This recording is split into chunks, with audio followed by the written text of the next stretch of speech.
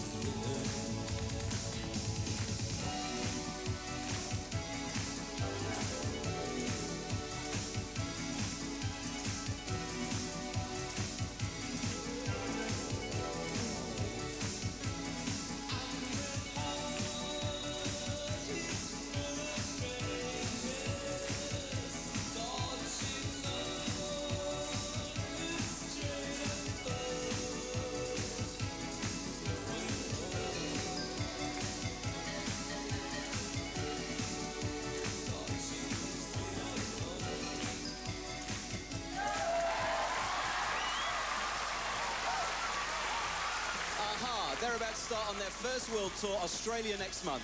Uh, and also, we'll see them here in this country in December. Right now, here's some closer look at the charts. It's the top 40 breakers.